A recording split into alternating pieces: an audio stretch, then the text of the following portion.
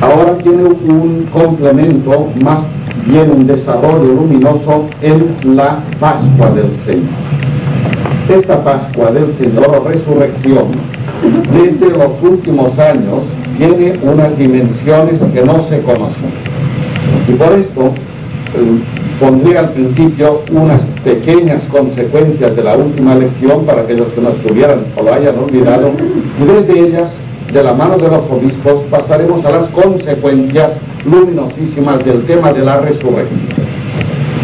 Insistiremos en él porque, como digo, durante los últimos años se ha avanzado tanto en el conocimiento de la dimensión y sacramentalidad de la resurrección de Jesús que los cristianos que tengan de la visión, tengan de la resurrección la visión que tenían hace tres o cuatro años, quedan muy atrasados.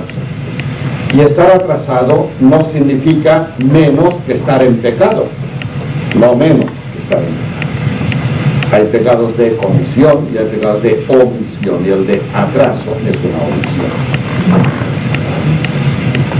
Tú debes estar a una altura espiritual y no lo estás, estás atrasado.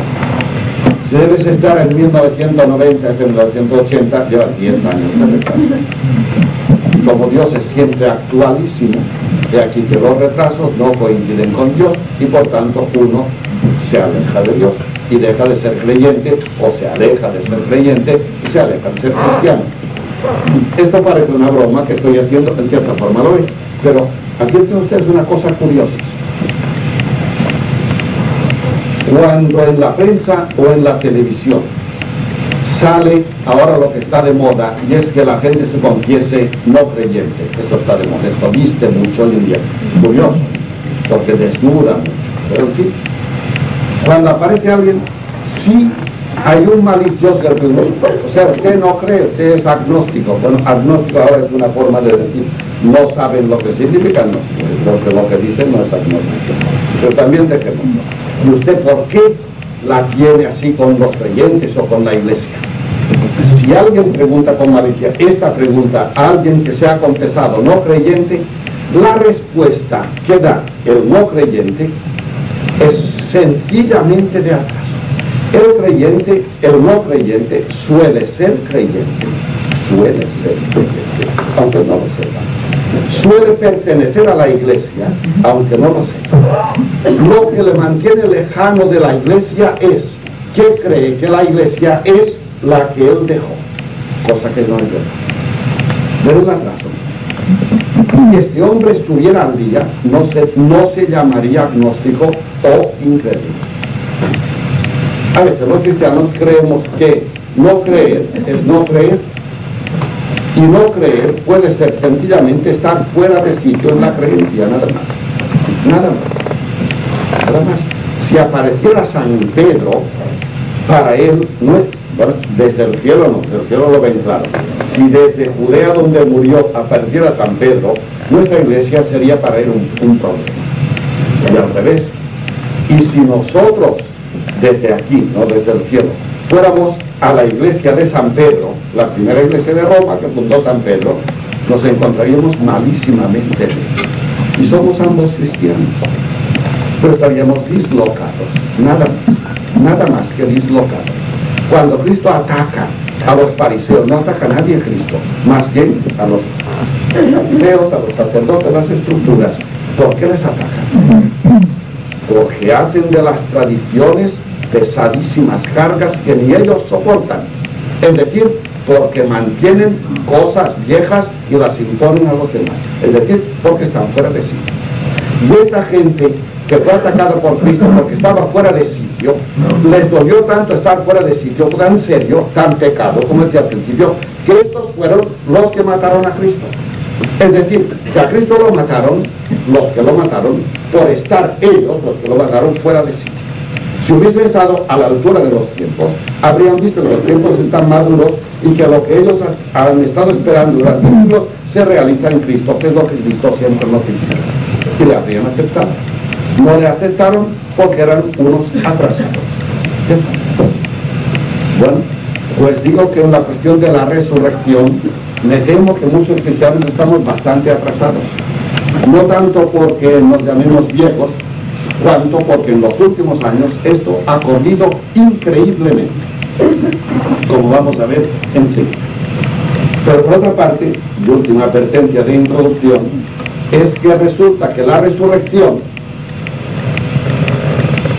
quicio de toda nuestra fe. Si Cristo no ha resucitado, vana es nuestra fe, decía San Pablo. Luego, estar atrasado en la resurrección es estar atrasado en todo el tema de la fe. Con lo cual digo que si estamos un año o dos atrasados en el tema de la fe, estamos en la resurrección, estamos 20 o 30 atrasados en el tema de la fe. Vamos pues al tema de la resurrección y empecemos con unos pequeños puntos de lectura para aquellos que tengan el libro, supongo que aquí no, pero en su casa sí. Les aconsejo que en la página 226, estoy hablando del signo de los obispos, luego pondré las consecuencias del otro día. En la página 226 lean el párrafo tercero, la resurrección de Jesús como revelación y glorificación de Jesucristo. Noten que la resurrección de Jesús es como revelación. Cristo se revela especialísimamente en la resurrección. Luego, velar o retrasar la resurrección es velar, empañar la revelación de Jesucristo. Primera afirmación. Esta dicha creo que del año pasado, o quizás durante este año, pero también que la recojamos de los obispos de, este código tan denso de, la fe, la fe para adultos. Únicamente, no tenemos este únicamente, únicamente las revelaciones pascuales de Cristo resucitado, únicamente las revelaciones pascuales llevaron a los discípulos al conocimiento claro y a la plena certeza de que el Mesías prometido es el Hijo de Dios.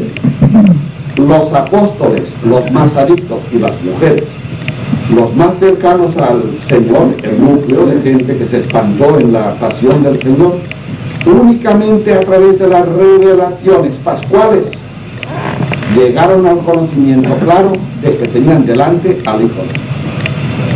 Y es verdad, San Juan lo dice. Cuando San Juan, según el capítulo 20 de San Juan, llega al sepulcro, llegó después, llegó antes que San Pedro, pero entró después que San Pedro, vio y creyó. Y ese creyó no llama la atención. ¿Cómo que creyó San Juan cuando llegó? ¿Y cómo? ¿O no creía? Y San Juan mismo explica. No, porque hasta entonces, hasta la resurrección, no habían entendido aquello que decía él de resucitar de entre los muertos. De forma que antes de la revelación de la resurrección del Señor, antes que el Señor resucitado se apareciera, los discípulos no habían llegado a entender el misterio de la presencia de Dios entre nosotros. Bueno, por eso San Pablo, si la resurrección de Cristo no es realidad, nuestra fe es a la luz de la resurrección se ilumina toda la vida de Cristo y toda la vida del cristiano, como diremos en sí. Ya tenemos un primer punto, por tanto. Los apóstoles no entraron en la luz hasta que vieron a Cristo resucitado. Es fundamental tema. Y San Juan lo dice claramente. Hasta entonces no habían comprendido lo que decía él cuando decía que había de resucitar de un esto nos lleva a intentar profundizar, gracias a Dios, hoy lo podemos hacer en este inmenso y espléndido misterio. Por esto, segunda afirmación, también en la página 226, eh, al párrafo tercero, los evangelios se escribieron justamente a la luz de esta fe pascual. Aquí he subrayado muchas veces este hecho que llama la atención ninguno de los discípulos del Señor, y tenía muchos, no solo los doce, 72 y más, ninguno de los discípulos del Señor, mientras iban a su lado con él, tuvo la ocurrencia de tomar bolígrafo y papel y anotar lo que el Señor iba a hacer. En vida de Jesús no se escribió nada. Los evangelios, las cartas de San Pablo y de los demás, fueron escritas después de la resurrección del Señor. Es decir, que nadie se atrevió a escribir nunca nada sobre Jesucristo, sino después de su resurrección. ¿Por qué? Porque solo a la luz de la Pascua, solo una vez resucitado Cristo, se dieron cuenta de la dimensión de lo que habían estado viendo en vida del Señor. Y solamente a la luz de la Pascua entendieron la presencia de Jesús. Esto tiene importancia, queridos amigos y hermanos, porque resulta que Cristo es el modelo. Y entonces, si los discípulos mismos que anduvieron con él dos años enteros largos, no tuvieron ni siquiera la ocurrencia de ir tomando notas, porque les debería parecer bastante normal todo aquello, sino que estuvieron por primera vez después de la resurrección. Hay que decir que es una voluntad positiva de Dios que los apóstoles escribieran después de la resurrección, porque antes no tenían luz suficiente para escribir. La luz viene de la resurrección. Y digo que esto tiene mucha importancia porque, consecuencia, entonces a Jesús se le puede comprender y se puede uno acercar a Él solo a la luz de la resurrección. La vida entera de Jesús solo es legible y traducible a la luz de la resurrección. Si Cristo no hubiese resucitado, de Él no quedaba nada. Nada. Nada no sabía escrito nada de lo que se escribió. ¿Y podía Cristo venir? No, no, no podía, porque todo es una unidad en Cristo, pero nosotros distinguimos. Si toda la vida de Cristo hubiese sido como fue, y Cristo no hubiese resucitado, no quedaría nada. Lo dice San Pablo, nuestra fe sería vana. Creemos en algo que no tiene sentido. Pero si la vida de Jesús es solamente traducible y legible desde la resurrección y Él es nuestro modelo, otra consecuencia. La vida de cada uno de nosotros solo tiene sentido desde nuestra resurrección. Por esto, aquellas personas que niegan la trascendencia de la vida humana, es decir, que niegan que haya vida después de la vida, que niegan la resurrección, no le encuentran sentido a la vida y no lo. Igual que la de Jesús. Si Cristo no ha resucitado, su vida no significa nada. Empezó a interesar su vida una vez que resucitó. Nosotros somos los hermanos de Jesús, Él es nuestro modelo. Por tanto, nuestra propia vida, vista desde dentro de la vida como la vemos ahora, tiene un sentido muy relativo y nos podemos equivocar. Hay que iluminarla desde la resurrección. Es decir, cuando tú hayas resucitado, sabrás por primera vez quién eres tú y por qué sucedió en tu vida todo lo que en tu vida sucedió. Y yo igual. Eso es fundamental para un cristiano y esto es bastante nuevo. Bastante nuevo en el sentido, bueno, nuevo, hace dos mil años, que ya se dijo que era una realidad. Pero ahora verán ustedes qué sentido le van sacando los teólogos y concretamente los obispos alemanes que todavía siguen en la vanguardia de la teología. Que tengan pues estas dos ideas y pásenlas cada vez que vayamos a la pizarra a, la pareja Jesús y yo. La ponemos para que no se nos olvide. Jesús es el hombre, pongo hombre para que Jesús es el hombre, pero este hombre en el momento de estudiar pues lo desglosamos en Jesús, que es un hombre verdadero, el hombre ideal porque es total y yo no, y al lado pongo yo, que es igual, Jesús es mi hermano, yo soy el hermano de Jesús, Jesús es mi modelo, yo voy a ser modelo, es decir, que el ideal es este, el hombre, el ideal de hombre que será completo en Jesús y que en mí se está ahora realizando, se está estructurando o llevando hasta el final. Este Jesús y este soy yo. No, no pierdan nunca de vista estas dos realidades. Por debajo de ellas pondremos. En cuanto a Jesús, y ya no haría falta ponerlo en cuanto al yo, porque ya los hemos puesto como paralelas, en cuanto a Jesús. Después de la resurrección, dos resurrecciones. Después de la resurrección se entiende. Antes no, tal como dice San Juan en su capítulo 20. A mí, aquí pasó lo mismo, por tanto. Jesús solamente se entiende una vez resucitado. Antes no habían entendido prácticamente nada. A partir de entonces comprendieron lo que Jesús quería decir cuando decía.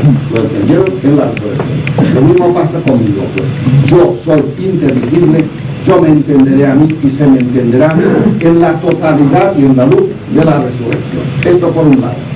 Después de la resurrección se entiende a Jesús. Y en segundo lugar, ahora, en cuanto a Jesús y en cuanto a mí también funciona todos los relatos, es decir, los escritos sobre Jesús son post-pascuales. Es decir, también después de la resurrección. Todo lo que tenemos de Jesús se escribió después de la Pascua y bastantes años después, pero siempre después de la Pascua, no en vida de Jesús. Lo cual quiere decir también que si todos los relatos de Jesús verdaderos son post-pascuales, mis verdaderos relatos, cuando se hable de mí, será solo con razón. Si se habla en vida, que se hable. Pero será con razón y con verdad cuando se hable de mí después de la resurrección mía. Es decir, a la luz de la resurrección de Cristo y de la propia resurrección. Esto lo dejamos. Y ahora recogemos un primer punto que no es de hoy, pongamos de introducción, que es el punto del otro día, del último día. Cristo bajó a los infiernos y repito que no, no pierdan de vista, se ve desde abajo, recibo muy arriba porque no era alta la pizarra.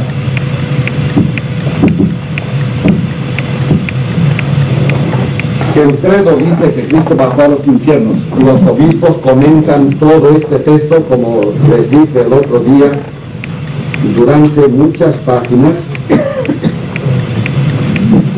desde la página 211 y siguientes. ¿Qué significa que Cristo bajó a los infiernos? Que con la muerte, no bien, ahora vamos a, a apuntar enseguida,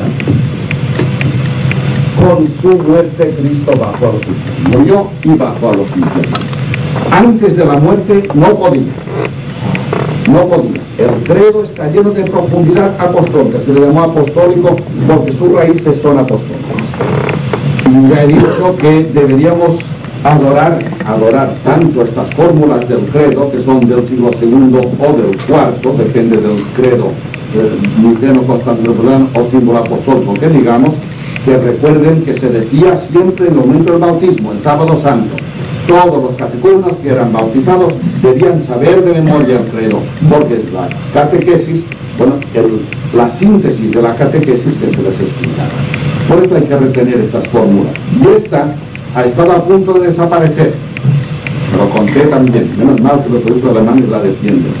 Como nadie la entiende, ¿verdad? Cristo bajó los infiernos.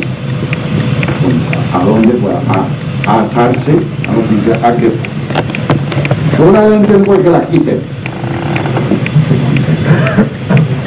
Como nadie la entiende, pues que los instruyan. Y se lo consigue. La química, como nadie la entiende, que la quiten. ¿Y qué? ¿Y qué comeremos? Comemos química. Eso puede quitar una de las consecuencias. Si nadie la entiende, que se explique. El problema no está aquí, el problema es quién lo explica. No es una cosa de la noche. Es profundísimo. Cristo murió. De la muerte no voy a hablar más, pero hoy diré algunas palabras pero ya de paso. Recuerden que la muerte pertenece a la totalidad de la vida de Cristo.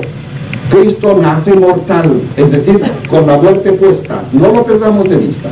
Como el hombre, no nos morimos en la muerte, nos morimos constantemente. Constantemente nos despedimos de nosotros mismos, de, miles de células que mueren de actitudes nuestras, de saberes nuestros, de parientes nuestros, de territorios nuestros. Continuamente nos despedimos, llevamos la muerte puesta, somos mortales. Y no es que somos un vivo que al final termina en muerto, no, no. Somos un vivo cuya vida está habitada por la muerte. Nuestra vida es mortal, la muerte cabalga sobre la vida. Y esto es lo que hace justamente la vida como una aventura. Claro, entonces, como Cristo tiene una vida humana, la vida del hombre, y la vida del hombre es mortal, Cristo es mortal como hombre. Por tanto, aunque no hubiese sido necesario que Cristo no redimiera, Cristo hubiese muerto igual, porque es, de ley que el hombre muera. Y esta muerte, entre mil otras cosas, la resurrección tuvo una ventaja, sobre todo para los griegos, y es que nosotros no podemos bajar al reino de la muerte a los infiernos. Y como se hace para bajar, se muere uno. ¿Y qué son los infiernos? Ya les expliqué que hay mucha teoría, pero la mejor es la griega, la de los que acuñaron este trozo del credo y bajó a los infiernos. Los infiernos es inferna en latín. Traducción la mejor, las profundidades. Cristo bajó con su muerte a las profundidades. ¿A las profundidades de qué? De todo. De todo. A las profundidades de las montañas. El eje del mundo está redimido. O sea que el traqueteo que tenemos por ahí arriba, ¿eh? que no parece redimido, esto es superficial. El eje, el cogollo del mundo ha sido redimido. El eje de las esferas, de las galaxias, de la creación, el alma, el cogollo ha sido tocado por Cristo, ha bajado las profundidades, profundidades que están vedadas a los vivos. Nosotros a fuerza de estudiar 400 años, si llegamos después llegarás, pues a, un milímetro de profundidad de teología o de filosofía o de química, no pasará mucho más, porque somos vivos y los vivos vamos por la superficie. Ahora la muerte, entre otras cosas muy buenas, tiene esta, que abre las puertas de par en par a lo profundo de las cosas. Tú sabes lo que es de verdad una estrella, por lo menos vivencialmente, no, el día que mueres podrás saberlo, podrás ir a verlo. Fíjate. Tú sabes dónde está el eje del mundo, el eje porque una cosa, el mundo no tiene eje, ni mucho menos, ni lo unta nadie. Pero en fin, ¿eh? el, el del mundo, tú sabes, podrás ir.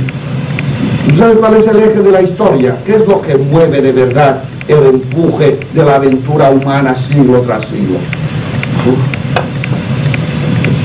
Si mueres, puedes penetrar este ¿Tú sabes lo que es el corazón del hombre?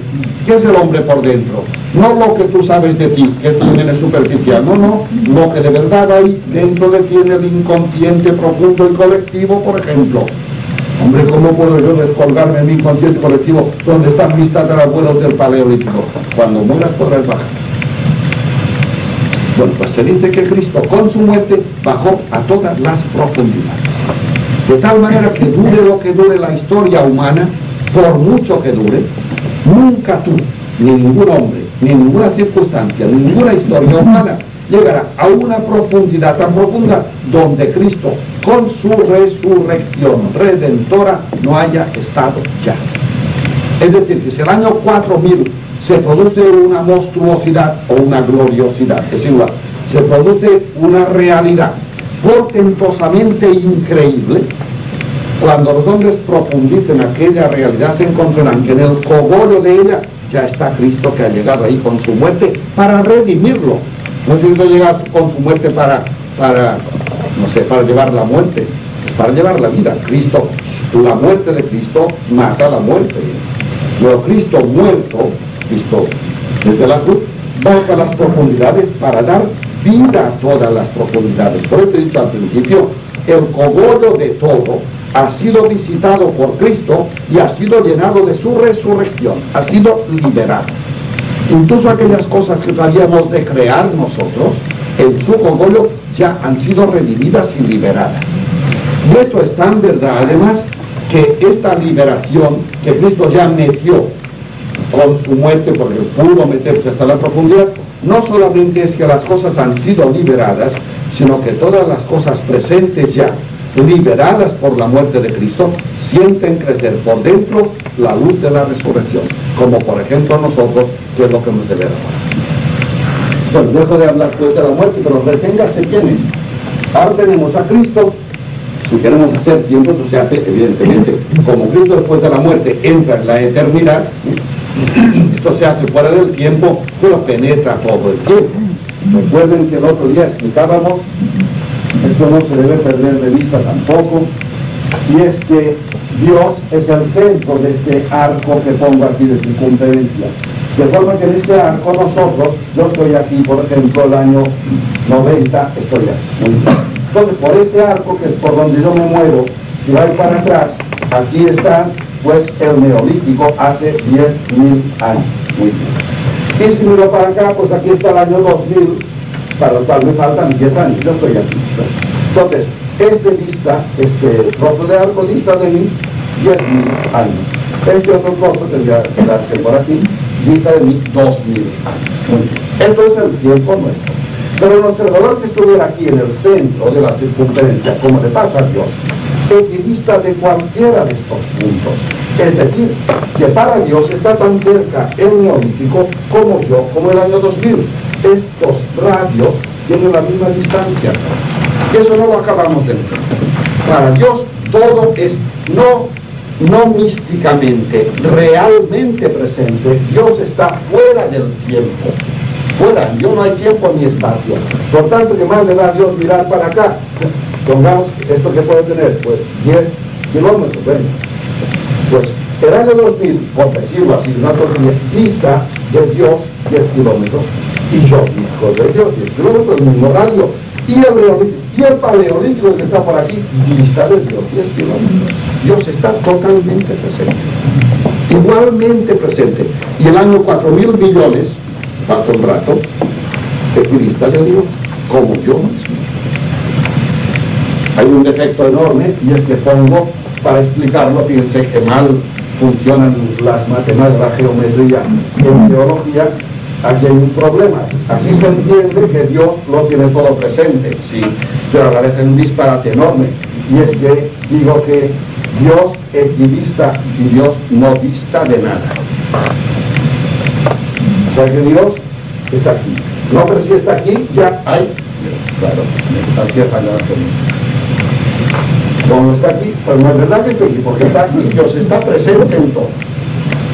O sea que lo que aquí pinto en el tiempo, que se ve la equidistancia, ahora habría que resolverlo en el espacio, cosa que no resuelve.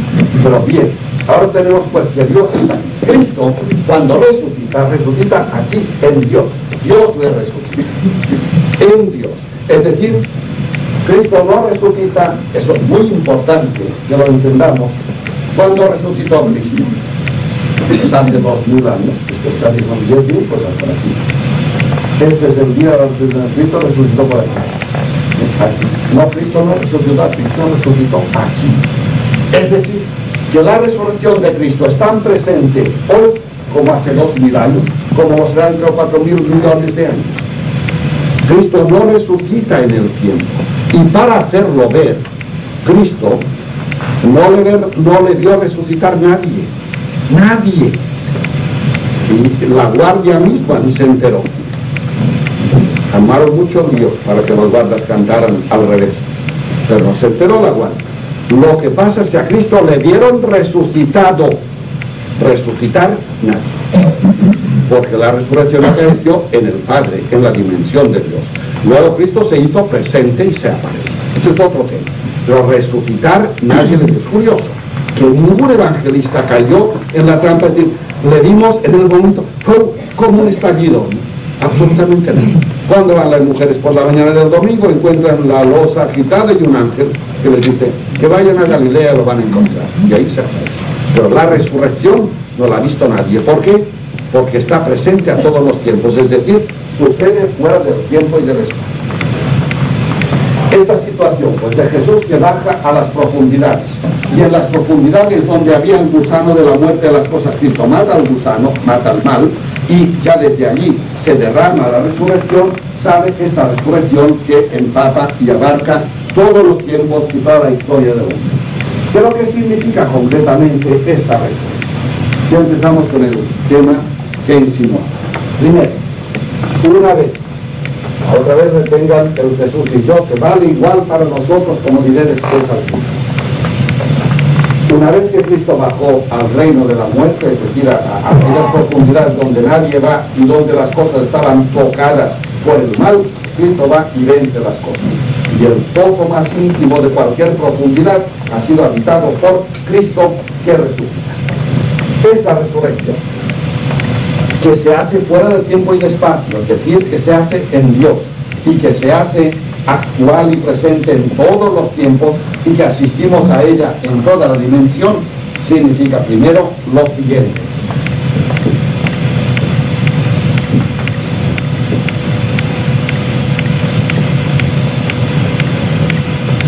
Piensen un segundo. Después de resucitar, ¿qué pondríamos? Pues seguramente muchos si, si mantienen el catecismo sin renovar, dirán resucitar es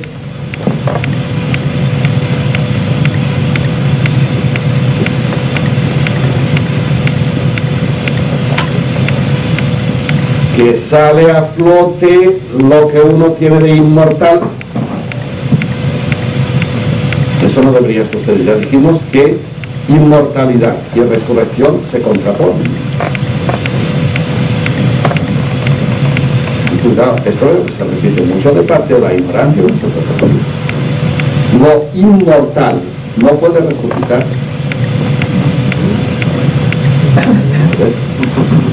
o, es que las palabras no significan nada.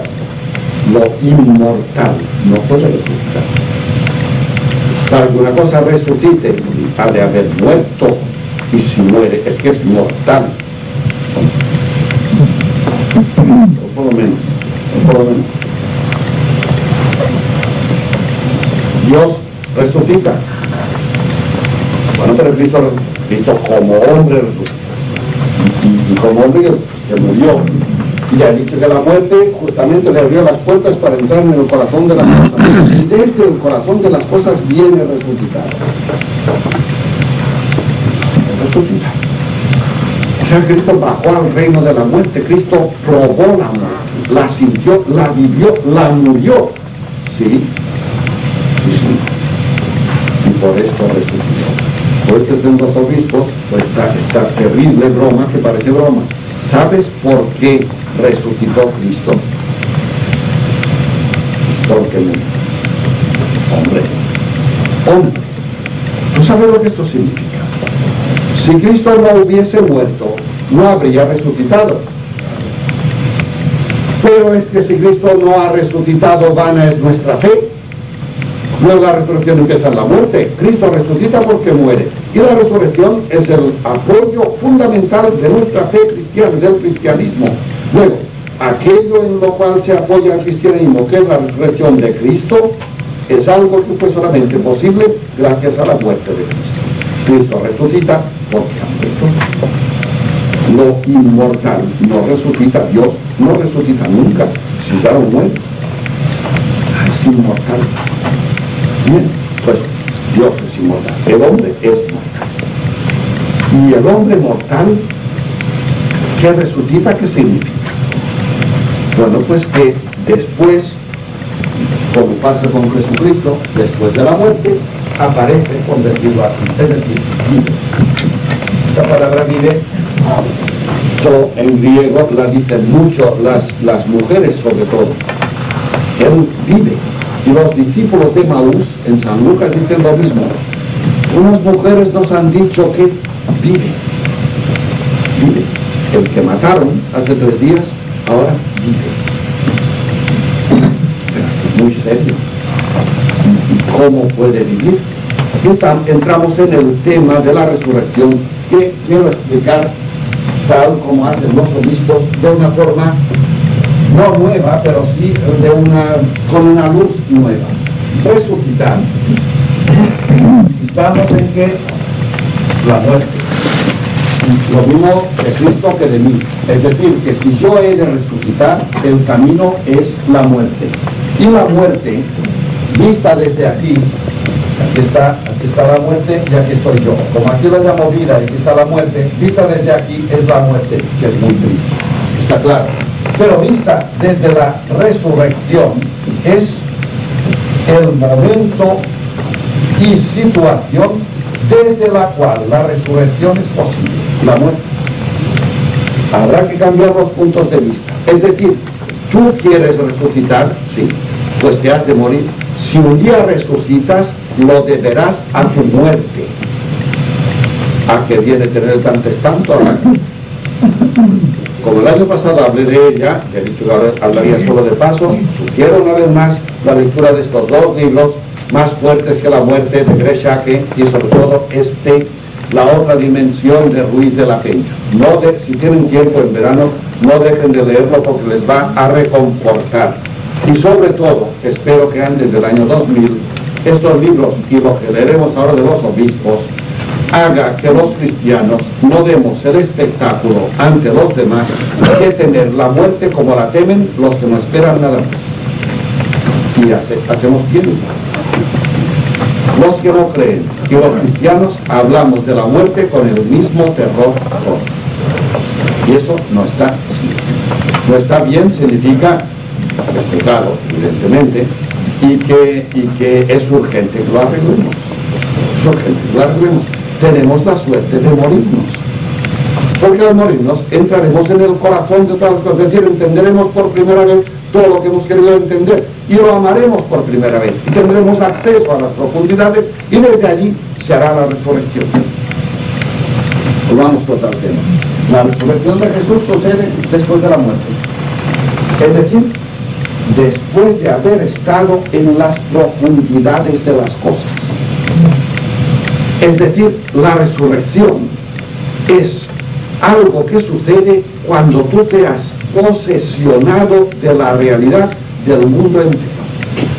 Por esto, el, el padre Ranner escribió el año 56, 56, 40 años, un libro que tituló sobre el sentido teológico de la muerte, su teología de todos, el sentido teológico de la muerte, la teología de la muerte. Y dijo, lo menos que se puede decir desde la resurrección es el libro mejor, este del Padre Rango, que es muy difícil de leer. Lo menos que se puede decir desde la muerte y resurrección de Cristo, que se refiere a nuestra muerte, está claro, es que Cristo, cuando resucitó, venía de la muerte y de tomar posesión del corazón de todas las cosas. Y esta es nuestra. La resurrección acaece cuando tú, que en esta vida tienes un pequeño mundo material, el cuerpo, relacional, yo, yo me comunico contigo y con las cosas, con las estrellas, con mi cuerpo, los ojos, las manos, las orejas, oigo, siento, veo. Mientras yo tengo un microcosmos, es decir, yo estoy encarnado, yo soy un, cuerpo que me relaciona pues, con mis semejantes, veo a, 20 kilómetros, pero no más, a 10.000 kilómetros no veo, oigo a, 40 metros, pero no más, a 2.000 metros no oigo, paradeo o siento el gusto de tengo en la boca, la tengo para la boca no así, es decir, o sea que es un mundo mío, el material que soy yo, un mundo muy limitado. Pero este mundo me pone en comunicación con todo el otro mundo exterior. Y yo empiezo a conocerlo y a amar. El día que me muera, este camino empezado desde mi pequeño mundo hacia el gran mundo que son las estrellas, las constelaciones, los hombres, la historia. Este camino llega a su fin, hasta el corazón de las cosas. Y desde el corazón de las cosas, yo recojo todo el mundo que se resumía en este pequeño mundo que era mi cuerpo cuando yo vivía y mi alma se hace tan cósmica, Padre. Es decir, me hago dueño, señor, y gozador de toda la realidad. Realidad a la cual tengo acceso gracias a la preparación que estoy haciendo en este pequeño trozo de materia que estoy manejando, que es mi cuerpo y mi espíritu, igual, mi propósito. Bueno, digámoslo más breve, porque esta es la primera parte. La resurrección ¿eh? viene de la muerte, por eso no hemos puesto aquí definición, Cristo vive, pero también vivía aquí, antes de bajar aquí arriba, vivía, ¿no? Somos nosotros, yo vivo ahora. Cuando muera, ¿qué pasa? No, morirse, no. Ya está dicho, lo hemos dicho otras veces, pero no es nada. Morirse es pues, romper un mundo limitado que he tenido durante unos años, gracias al esfuerzo que habré hecho en este mundo, romper este mundo y que mi ser tenga acceso a lo que todos quisiéramos saber. No podría yo ahora mismo estar gozando de tres fiestas que me interesan, una en Tokio, una en París y una en Washington. No, hijo, no. Si tú estás invitado a tres fiestas, solamente puedes gozar de una y gozarás de ella en cuanto renuncies a dos. No Para gozar de una fiesta, he de dejarlo cuando uno, cuando uno se casa. Cortejas y llevas en revuelo siete. El día que te cases, ¿qué es casarse? Dejar a seis. ¿No? Si es la vida, es la limitación, es la limitación. Claro, tú, tú miras el cielo de los dices, mira qué brillante está Venus. ¿Sabes por qué ves Venus? Porque dejas de ver 400 millones que están a los lados. Solo que ver todo no ves nada. Limitación. Si basta observarse. Somos lo que somos gracias a la limitación que tenemos. Nada poseemos, somos un microcosmos, un pequeño mundo. Ramón Llull lo vio magistralmente desde Randa hace 700 años. Un pequeño mundo con sus constelaciones, sus oposiciones, sus choques. Un pequeño mundo, pero pequeño mundo. En el mi propio ser, a través de este trocito de, mundo, que, soy yo, que es mi cuerpo sobre todo, me voy adiestrando para que cuando se me rompa este ladrillo de mundo, yo con todo mi ímpetu todo, me meta ya sin puertas posibles en todos los rincones de la realidad, de la realidad. Si me quiero meter en el paleolítico de hace dos millones de años, cuando Adán apareció en la tierra, ahí estaré, me meteré y sentiré además vivo y palpitante y lleno de temblor. Adán, que estrena la primera aurora de la creación. No quisiera asistir yo al nacer de los primeros peces. Pues los verás nacer y estarás en su nacimiento. No los verás nacer, te meterás en ellos y los, los gozarás desde dentro. Esto se hace con es decir, que la muerte rompe el ladrillo que soy y me abre a todos los ladrillos del mundo y me deja penetrar dentro. Por lo cual, mi, alma, lo de alma lo digo para que nos entendamos, no funciona. Cristo nunca habla del alma.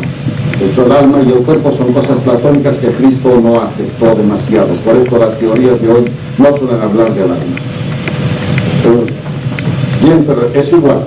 La realidad que yo soy, una vez que pasa al corazón de las cosas, baja a las profundidades, a los infiernos, como dice el credo, entonces yo tengo posesión, e igual que gozo de, esta materia que me toco y, o que me duele, es igual, gozaré pues del nacer de los peces o del corazón de un hombre o de una sinfonía de las estrellas, me meteré en el corazón, es decir, tendré un alma, por decirlo así, derramada por toda la creación y además metida en el cogollo de toda la creación.